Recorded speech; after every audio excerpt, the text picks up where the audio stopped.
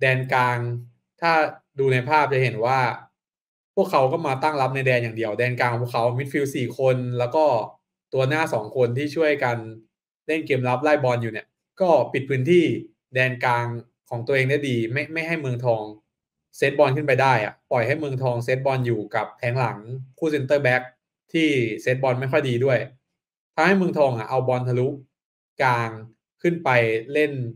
ไม่ได้เลย อย่าว่าแต่ถึงแดนหน้าเลยคือตรงกลางก็ติดขัดทำให้เกมเนี้ย ความหวังในการขึ้นเกมอะมันก็ช้อยมันน้อยลงไป พอแดนกลางต่อไม่ติดปกติช่วงหลังเมืองทองก็จะเป็นปรเมศเป็นพอปนี่แหละ ที่สามารถใช้ความสามารถเฉพาะตัวในการพาบอลช่วยแดนกลางได้ด้วย แต่เกมนี้ไม่มีปรเมศเหลือพอปคนเดียว มันก็เลยยิ่งเหลือตัวเลือกน้อยไปพอปก็โดนระวังอย่างดีนะ ช่วงแรกๆนี้โดน ปิดสองปิดสามตลอด หลาย ๆ ครั้งเราจะเห็นว่าพอเป็นที่คู่เซนเตอร์ของเราต้องต้องเล่นกับบอลน่ะ ดูมีปัญหาจริงๆ อย่างจังหวะนี้ โดนลำพูนเพสเข้ามาแล้วเขาก็ตัวใกล้อีแจซองที่คลองบอลอยู่นะ ตัวใกล้เขาก็มาปิดลายไม่ให้ส่งเข้ากลางง่าย ๆ แต่ มันก็ไม่ได้ใกล้ซะขนาดที่ว่าจะไม่มีโอกาสหรือไม่มีพื้นที่ส่งพิชาตรงกลางก็ยังว่างอยู่ในวงกลมหรือ หรือคืนกวินหรือจะเล่นสั้นๆ กับแบ็กซ้ายอย่างสาพรที่กำลังจะกลับลงมา แต่ลูกนี้เราก็เสียบอลอีเจซองก็จ่ายออกข้างไป คือลำพูนวางหมากมาดีด้วย บวกกับเจอแผงหลังของเราที่เซตบอลไม่ดีด้วยในเลขสองเนี้ยก็เลยเป็นเกมที่ขึ้นไม่ได้เลย เนี่ย มันมันมันเป็นภาพนี้ตลอดประมาณหกสิบเจ็ดสิบนาทีนะตั้งแต่ครึ่งแรกทั้งครึ่ง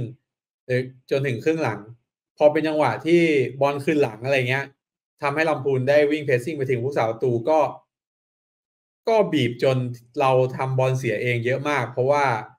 กวินก็ไม่ได้เล่นกับบอลดีเหมือนกัน กลายเป็นว่าคู่เซนเตอร์แบ็กสองคนผู้รักษาประตูก็คือสามคนที่ต้องเซตบอลในแดนที่หนึ่งก็มีปัญหาตรงนี้ แล้วก็เรื่องตำแหน่งของแดนกลาง พอพอเป็นอย่างที่ว่าไป แล้วก็วันนี้ธีรพลเยาะเย้ยดูจะเล่นเยื้องๆขวานิดนึง ก็คือเป็นมิดฟิลด์ตัวรุก AM ที่อยู่ทางขวามือเป็นหลัก ส่วนคคนะก็จะดูทางออกซ้ายมากกว่า ก็คือเป็นคู่กลางกับพิชานะ แต่ทางออกซ้ายมาช่วยเซตบอลต่ำแล้วก็ปล่อยให้พิชาอยู่ตรงกลางคนเดียว ซึ่งปัญหาที่เห็นตลอดครึ่งแรกคือกลายเป็นว่าฝั่งซ้ายอะ ปกติฝั่งซ้ายของเราแบ็กซ้ายสถาพรก็ไม่ได้ขึ้นสูงอยู่แล้ว พี่หนุ่มก็ไม่ได้เติมเกมโดดเด่น แล้วก็ทีมก็จะเลือก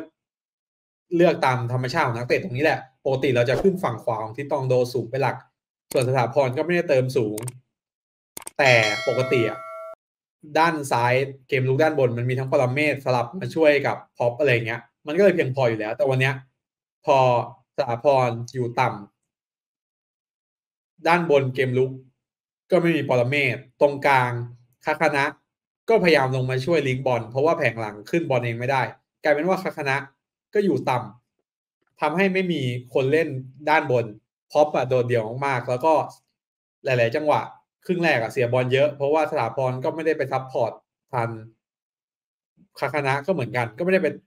ขึ้นไปทัน กลายเป็นว่ามันบอลมันมากองอยู่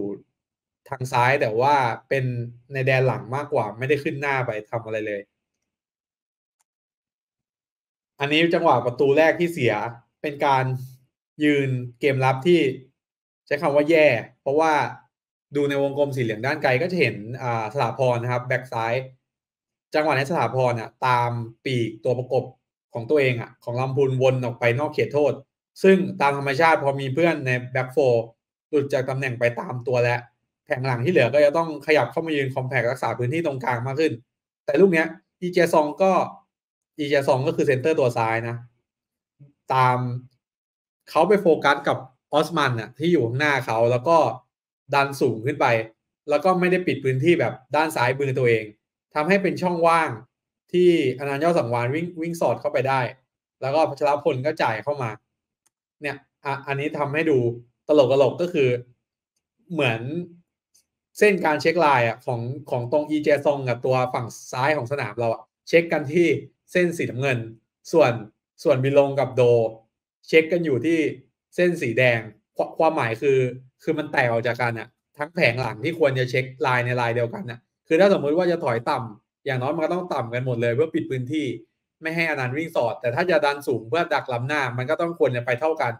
คือกลายเป็นว่าอีเจซองก็ไม่ได้ปิด คัฟเวอร์ตำแหน่งทางซ้ายที่หายไปของสราพรไม่พอ บีลงก็ไม่ได้มีความกระตือรือร้นที่จะ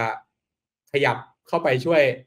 ปิดพื้นที่ด้วย ไม่ได้ช่วยโลกัน อย่างลูกนี้ผมว่าโดก็ก็โฟกัสกับตาอัวหมายเลข7เกินไปนะ คือตาอัวมันเป็นหน้าเป้าด้วย ก็เข้าใจได้ว่ามันอาจจะดูเป็นตัวอันตราย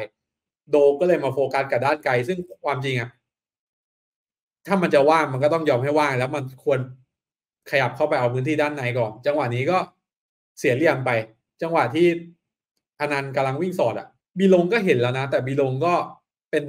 พวกที่ชอบปล่อยให้เขาเล่นบอลก่อน แล้วก็ยืนห่างอยู่แล้วอะลูกนี้กว่าจะไหวตัวทันแล้ววิ่งตามไปอะอนันต์ก็รับบอลในเขตโทษมันได้ยิงจ่อๆก็ไม่เหลือหรอกกวินก็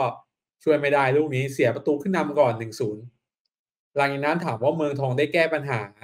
ในเรื่องการขึ้นเกมแดนกลางเยอะไหมเอาตรงๆ detail ก็ไม่ได้ว่าเยอะนะ แต่เกมนี้เป็นเกมที่จังหวะทุกอย่าง มันมาดีขึ้น จังหวะที่เปลี่ยนตัวแล้วโมเมนตัมมา คือบวกกับลำพูนเขารับเขาถอยไปรับต่ำขึ้นนั่นแหละพอเขานำก่อนเมืองทองเอาธีรพัฒน์ลงมาเล่นเซนเตอร์แทนแจซองเอากานารินลงมาเล่นกลางแทนน่าจะคาคานะคือกานารินก็จะได้มาช่วยตัดเกมเต็มตัวไปเลยเพราะว่าแดนกลางก็เริ่มหมดแล้วก็เอาลำพูนไม่อยู่มาช่วยเก็บบอล2ด้วย